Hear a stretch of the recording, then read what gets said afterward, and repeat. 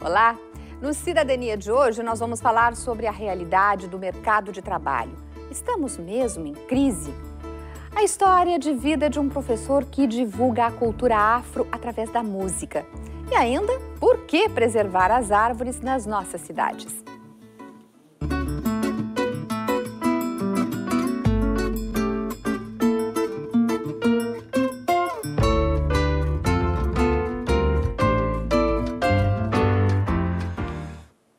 Você já curtiu a nossa página no Facebook? Vai lá, facebook.com.br Cidadania TVE. Neste espaço, você pode acompanhar os programas que são apresentados aqui, os links para você rever programas ou acompanhar o programa que você ainda não assistiu e curta a nossa página, sugira assuntos e tudo mais.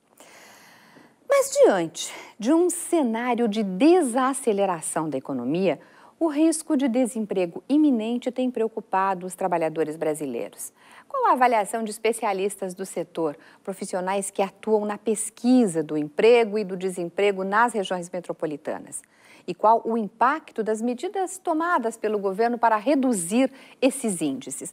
A partir de agora está conosco Virgínia Donosso, que é coordenadora da pesquisa de emprego e desemprego do DIEESE, e Juarez Santinon, que é diretor-presidente, melhor, da FGTAS, Fundação Gaúcha do Trabalho e Ação Social. Sejam bem-vindos ao Cidadania. Prazer em tê-los aqui. Prazer. Prazer é nosso, com certeza. A situação, vocês realizam essa pesquisa há mais de 20 anos, né, de emprego e desemprego na região metropolitana. E qual é a situação? Como é que se, se visualiza hoje esse cenário aqui na nossa região? Então, uh, a gente apresenta né, uma, uma elevação do desemprego. Né? Para o mês de maio, a gente registrou um Esse desemprego... cenário de crise se configura mesmo. Né? Ele está configurado, né? Uhum. A gente tem uma elevação da taxa de desemprego. A nossa taxa de desemprego hoje está em 7,8% e ela já atingiu valores superiores ao ano de 2014, que o ano de 2014 a gente tinha um ano favorável para a economia, então a gente teve as menores taxas de desemprego para o longo da nossa série de 23 anos, né? É, em 2014 estava em quem? A gente 5, fechou uma taxa anual de 5,9%, né? Então, a gente já está para maio, com cinco primeiros meses, em 7,8%, né? A gente está estimando que essa taxa de desemprego ela deve subir um pouco mais, né? Até porque a gente tem uma questão sazonal que o primeiro semestre ele é sempre um semestre mais desfavorável economicamente. E no segundo semestre a gente tem uma retomada da economia, um reaquecimento e as taxas de desemprego normalmente elas diminuem. Então, nesse contexto de crise, a gente estima que isso deve acontecer da mesma forma, mas bem mais suavizado, né? Uma vez que a gente já está com taxas bem superiores a, a, dos anos, aos dos últimos dois anos. Ufa, né? Isso é bom. Mas assim, são mais de 20 anos a FGTAS, mais o DIESE, mais a FEE, que é a Fundação de Economia e Estatística, Isso. né? Mais ou menos sempre teve nesses níveis? Teve algum, alguns anos que foram assim bem maiores? Ou... Sim, a gente a, a, a, nossa crise de hoje não é a crise da, do mercado de trabalho de tempos atrás, né? A região metropolitana de Porto Alegre teve taxas de desemprego de 20%, nossa. né?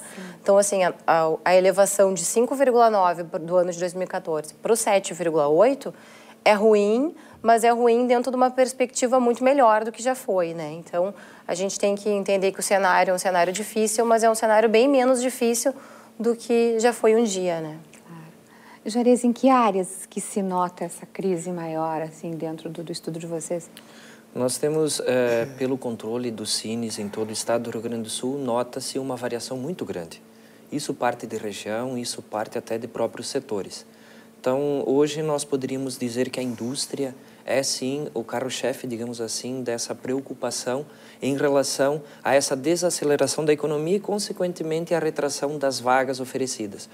Um dado estatístico também que a gente tem em relação ao ano de 2014, esse ano de 2015 ap apresenta uma retração de 30% das vagas oferecidas e grande parte delas provenientes da indústria. Da indústria. Da indústria.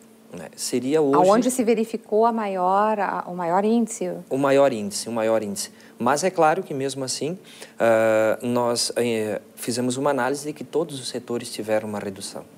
Todos uhum. eles, de alguma maneira, acabaram é, sofrendo algumas alterações. Uh, falo de uma maneira geral no Estado, mas também, se a gente for olhar a particularidade de cada região, a gente nota que em alguns locais uh, a indústria tomou uma proporção maior e em outros locais foi o comércio, em outros locais, uhum.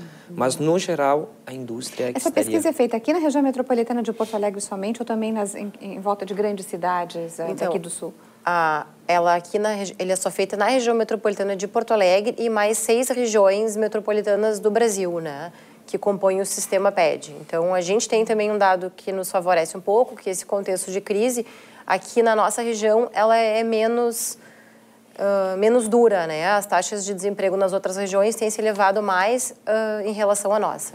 A gente ainda está numa situação mais privilegiada em relação ao demais, aos demais vou, regiões. Vou apresentar uns dados de uma matéria que foi apresentada no telejornal nosso, porque a taxa de desocupados foi de 8,1% de março a maio em todo o país. A informação é da Pesquisa Nacional por Amostra de Domicílios Contínua, realizada pelo IBGE.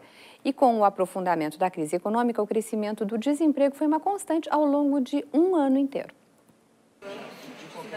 Foi a maior variação em 12 meses desde o início da pesquisa do IBGE em 2012. O aumento acumulado de um ano no número de desocupados no país foi de 18,4%. A desaceleração da economia atingiu diretamente o emprego. Alternativas para não aumentar ainda mais o número de desempregados são propostas pelas empresas e também pelo governo, que publicou uma medida provisória que permite reduzir a jornada de trabalho em 30%, com a diminuição proporcional do salário compensada em 15% pelo Fundo de Amparo ao Trabalhador com a atual situação, é inevitável que tanto o layoff como essa questão do PPE, do Programa de Proteção ao Emprego, eles sejam adotados pelas empresas. Por quê? Porque a gente sente uma estagnação da economia, que não nos visualizamos ainda até quando isso possa vir a acontecer. Então, são medidas importantes para tentar preservar o emprego do nosso trabalhador.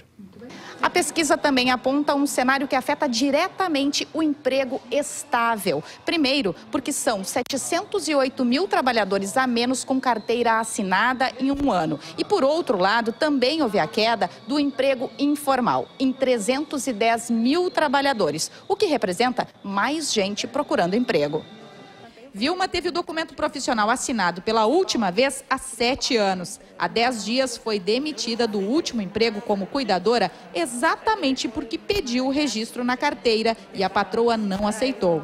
As coisas pegam, né? Mês que vem já tem meu aluguel para pagar, já tem minha luz, tudo pega, né? E você não tem ajuda de, lugar nenhum. Eu, por exemplo, não tenho, né? Como não conseguiu o seguro-desemprego, agora precisa logo achar outro emprego. Com certeza. Então, estou aqui para resolver isso, né? Outros trabalhadores não estavam procurando emprego e também passam a engrossar a fila como donas de casa e estudantes, segundo o IBGE. Nesta consultoria de emprego, enquanto a queda de vagas profissionais caiu 40% em um ano, as de estágio só reduziram 5%. É que também as empresas têm apelado aos estagiários no momento da crise acreditam que contratar um estagiário possa desenvolvê-lo e ele possa, né, num, até num curto período de tempo, ser, ser efetivado. E como a gente tem vários estudantes né, que trabalhavam CLT e que estão cursando um técnico superior, e não tem uma oportunidade uh, efetiva para eles poderem retornar ao mercado de trabalho, eles estão optando por entrar numa oportunidade de estágio, por entrar na empresa e tentar mostrar o seu trabalho e, consequentemente, poder ser efetivado. A própria consultoria também emprega. Fernando perdeu o emprego com carteira assinada e voltou ao mercado como estagiário. Estou gostando, quero dar continuidade, ficar aqui, estou aprendendo bastante e quero ter uma experiência boa até no meu currículo e na minha carteira, né? A gente segue conversando aqui no estúdio com o diretor-presidente da FGTAS, Juarez Santinon, e com a coordenadora da pesquisa de emprego e desemprego do DIES, a Virgínia Donoso. Já quase pronunciei errado, mas... E, e, quanto, não sei como é que vocês fazem na avaliação de quem está ingressando no mercado de trabalho. Isso se mantém em média? Agora a gente viu um rapaz que estava no mercado formal e entrou como, voltou como estagiário. Uh, né? É, é, tem uma média de pessoas que estão ingressando no mercado pela primeira vez? Então, a gente tem uma, um dado que os últimos dois anos, 2013 e 2014, foram anos que reduziram a população economicamente ativa, né? As, as pessoas que entram para buscar vagas uhum. no mercado ou porque as famílias tinham oportunidade de deixar com que essas pessoas fiquem assim em casa, estudando e se preparando para concursos, ou porque a própria renda estava em crescimento, né, a renda das famílias. E nesses cinco primeiros meses do ano de 2015, a gente viu uma volta dessas pessoas ao mercado de trabalho, seja porque houveram já demissões de membros da família, ou porque necessitavam buscar mais renda, né? Porque a gente houve também o interrompimento do crescimento da renda do trabalhador, né? A gente tinha uma base muito forte que nos últimos, desde 2005, a gente teve um, um crescimento concomitante da renda junto com o emprego, né? E nesse ano de 2014 a gente vê uma redução da renda do trabalhador e a elevação da taxa de desemprego. Juarez, ah, ah, se fala muito na questão do emprego formal, do emprego informal, que durante muito tempo o emprego informal era, eram taxas muito altas aqui, no, no, principalmente nas capitais. Como é que você avalia isso hoje, né? a relação de um com o outro? É, nós, nós acreditamos que com algumas medidas que o governo tomou e a própria criação do MEI a, e outras formas de incentivo para que as pessoas não trabalhem na informalidade. Propriamente na agência Cine, a qual nós temos a, a, obrigatoriedade de fazer todo o seu gerenciamento, nós trabalhamos simplesmente com o mercado formal. Então foge um pouco de nós aquela aquela compreensão, o entendimento de que níveis estariam na informalidade. Tanto é que a gente sempre trabalha em cima de poder buscar essas pessoas e mostrar que temos vagas à disposição. Hoje eh, nós contamos com mais de 4.600 vagas em aberto em todo o estado. Na região metropolitana de Porto Alegre são mais de 1.600. E aqui em Porto Alegre são 1.020 vagas. Ou seja, temos uma grande possibilidade ainda de inserção das pessoas que estão na informalidade para o mercado de trabalho. E estamos trabalhando com duas frentes. A frente da flexibilização do perfil que o empregador exige que seja encaminhado esse trabalhador até a sua agência, até a sua empresa, para possibilitar que uma gama maior de profissionais, de pessoas, enfim, possam estar tendo a oportunidade de se inserir nessa vaga oferecida. E também estamos trabalhando na busca de, junto aos ministérios, junto a todos os cursos cadastrados, para profissionalização, ou seja, nós trabalhamos com o mercado formal, mas temos a preocupação de poder dar a opção para que essas pessoas que estejam na informalidade possam estar sim tendo uma oportunidade de um trabalho fixo, efetivo. Nesse trabalho que é feito de pesquisa, uh, se pode avaliar também a questão da qualificação? Hoje o trabalhador é mais qualificado ou o empregado tem exigido uma qualificação, ou o empregador tem exigido uma qualificação maior? Com certeza, o nosso trabalhador ele está sendo exigido por parte das empresas com uma, uma qualificação mais aprofundada, um, um entendimento melhor é, justamente da profissão onde ele, estará ingressando. Então, existe sim por parte das empresas uma busca de um trabalhador mais qualificado para atender a sua demanda. É, eu acho que vai um pouco na linha disso, que também, quando a taxa de desemprego é baixa, né, que a gente tem essa taxa de desemprego mais baixa, cada vez pessoas menos qualificadas estão nessa fila do desemprego, né? Então, o acesso dessas pessoas ao a um posto de trabalho também é um pouco mais dificultado, né? Porque quando tu tem taxas de desemprego elevadas, tu tem pessoas muito qualificadas nessa fila do desemprego, né? Então, é um pouco na linha do Juarez e e na questão da faixa etária, se pode notar muito quem, quem procura mais ou quem está, quem é mais vulnerável nessa? É, a gente tem que os jovens são os mais, uh, a taxa de desemprego maior é em relação aos jovens, né? Embora também a pesquisa identifique que a gente tenha uh, registrado um aumento do desemprego dos chefes de família. Isso também preocupa, né? Porque os chefes de família são aquelas pessoas que têm a maior renda da família normalmente, né? Uhum. E é que leva a família adiante. Então, é, nesse nosso cenário de uma suposta crise, né, a gente tem que se preocupar com essa questão. Isso é uma, isso é uma, uma característica em momentos de crise, por exemplo, dos jovens que a gente vê numa tendência mundial, né, em países da Europa, na Grécia, que, eh, que os jovens é mais de 20% eh, da taxa de desemprego. Uhum. E nesta faixa aí que tu falavas, que na, na, questão dos chefes de família, sejam mulheres, sejam homens, mas que são pessoas que são cabeças de família, uhum. como diz, isso é, isso é configurado? É, é, com certeza. Porque, assim, os jovens são as primeiras pessoas que, que deixam de ter essa opção, né? Elas estão estudando, elas muitas vezes param de estudar para procurar um emprego, né? E isso faz com que a taxa de desemprego aumente, né? Porque a renda da família diminui e os jovens têm que deixar de estudar, só estudar para buscar um, um, emprego e aumentar a renda da família. Né? A chegada de, de, de imigrantes, esses, esses, imigrantes, especialmente os imigrantes haitianos, o que, que tem refletido isso na procura a, a, a, lá no Cine? Nós temos, uh, tendo acompanhado todo esse processo e até participado em relação a fazer o acolhimento de, desses imigrantes, haja vista a Fundação tem na Baltazar de Oliveira Garcia o Centro Vida e lá está servindo de alojamento. Hoje nós contamos com 48 a 50 imigrantes. Bom, nessa questão da busca do 48 espaço... 48 imigrantes. Imigrantes, então... exato. O que acontece? Uh, nós sentimos que existem empresas que já vão até as agências de emprego e disponibilizam vagas, tendenciando a essas vagas serem para imigrantes. Por quê? Porque já tem esses imigrantes trabalhando junto a eles. Então, nesse primeiro momento, a leitura que a gente tem é que não está tendo um conflito entre os nossos trabalhadores com os imigrantes que estão chegando. O que nós temos é uma preocupação justamente de saber até que ponto o mercado de trabalho vai absorver essa mão de obra e também mobilizado junto à Secretaria dos Direitos Humanos do Estado e de Porto Alegre, poder termos a certeza de uma comunicação com o Acre, porque nós também não podemos estar recebendo a mais do que tanto a nossa capacidade de alojamento e também quanto a capacidade de absorção do mercado de trabalho.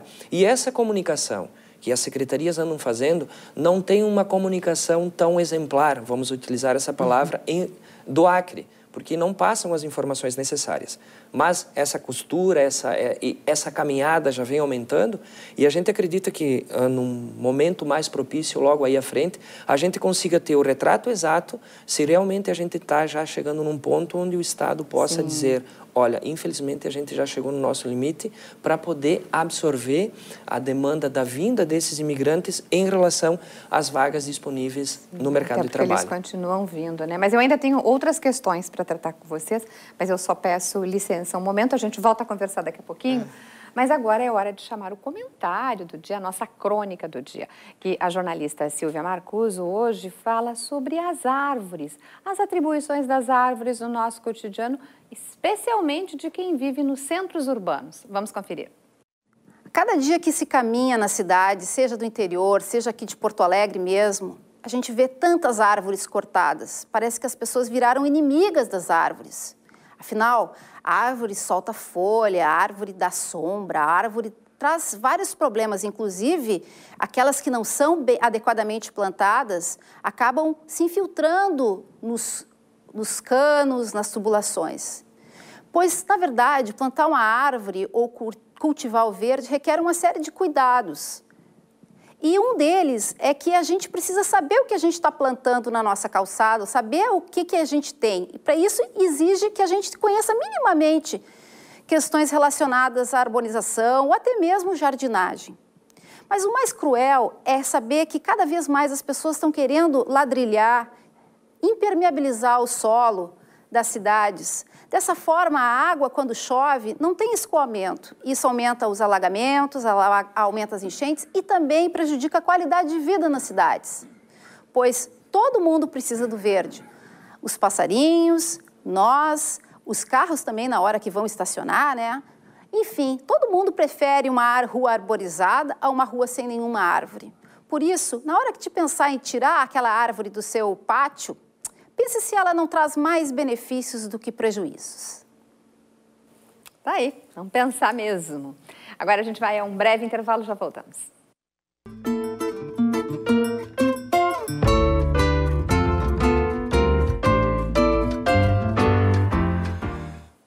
Neste começo de bloco, nós vamos conhecer uma iniciativa muito bacana que vem acontecendo no bairro Restinga, na zona sul aqui da capital, e realizada através do projeto Mais Cultura nas Escolas. A reportagem é da TV Restinga. Integrar os agentes e os coletivos culturais do bairro com a comunidade escolar é o objetivo do programa Mais Cultura nas Escolas, promovido pelo governo federal através do Ministério da Cultura e da Educação. Então, o programa Mais Cultura nas Escolas vem possibilitar uma autonomia dos pontos de cultura, dos culturas digitais, dos grupos culturais, artistas da comunidade, onde se faz uma relação pedagógica cultura e educação a partir de oficina, de espetáculos e apresentações. Então, nós aqui da TV Restinga, da Cozinha Comunitária, do processo de comunicação comunitária, visa pensar um processo a longo prazo onde os artistas da comunidade interagem com o público da escola.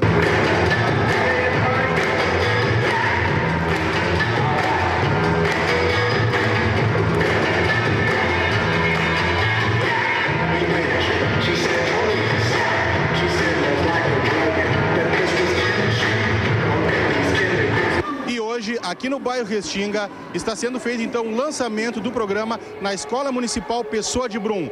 Uma parceria entre a escola, a TV Restinga, a Cozinha Comunitária e outros agentes culturais do bairro, onde serão desenvolvidas oficinas de TV, de rádio, de culinária e também de dança. Eu sou coordenadora do projeto, uma das pessoas que vai fazer trabalho com as crianças das primeiras séries com o trabalho de culinária. E aqui estão presentes conosco também as meninas da professora Maíra, que vão estar fazendo aula de dança integrado à comunidade e à Escola Pessoa de Brum.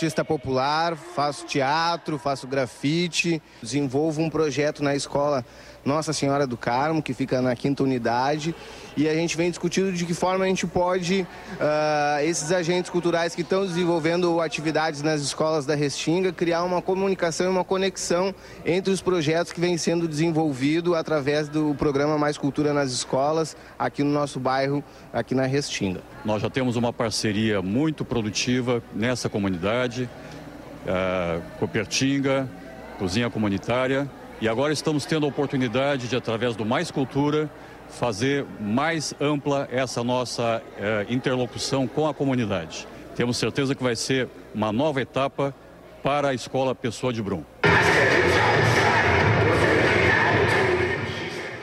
E agora nós vamos conhecer a história de um professor que ajuda a divulgar a cultura negra através de oficinas de música na Redenção. Meu nome é Matheus Sene de Oliveira, Sou professor da Rede Municipal de Porto Alegre, sou professor de Educação Física, um dos coordenadores e professores do Instituto Cadê Zumbi. O que, que a gente está fazendo aqui na Redenção hoje é a Foché. O Instituto Cadê Zumbi trabalha com cultura brasileira, cultura, é, diversidade e educação. E a gente, claro, o nome já diz Cadê Zumbi para procurar Cadê Zumbi dentro de si. E uma das ações que a gente faz é o bloco, é o Grito Afro. E hoje a gente está fazendo o ensaio de rua do Grito Afro. A gente faz quatro ensaios mensais.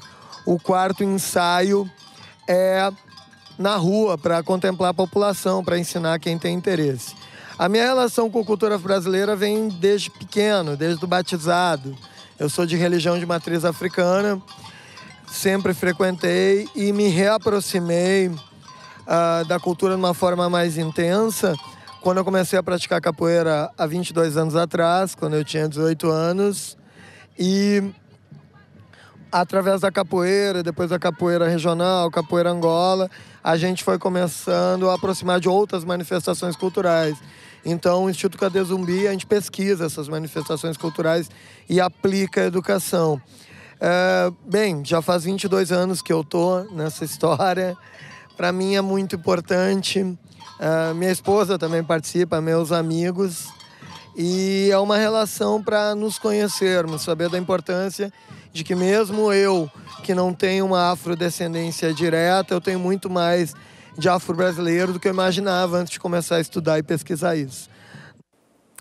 E nós continuamos aqui no estúdio. Hoje nós estamos refletindo sobre a situação do emprego, do desemprego aqui no nosso estado, especialmente aqui na região metropolitana. E estamos refletindo com Virgínia Donoso, que é coordenadora de pesquisa de emprego e desemprego do DIESE, e Juarez Santinon, que é diretor-presidente da FGTAS, a Fundação Gaúcha do Trabalho e Ação Social. A partir do dia 22 de julho de hoje, né, Juarez, As empresas as, é, interessadas em aderir a esse programa de proteção ao emprego, que foi um, uma, uma MP que foi lançada agora no início do mês, né, que vão poder aderir. Como é que isso pode funcionar e no que, que isso vai ajudar a redução do, do desemprego aqui na nossa região? É claro e notório que a, a, essa medida provisória vem para garantir a estabilidade de alguns profissionais dentro de setores onde eles estejam é, problemas por causa da economia. Esse comitê gestor do Programa de Proteção ao Emprego definirá e estará lançando hoje as diretrizes de quais os setores da economia poderão estar aderindo a esse programa.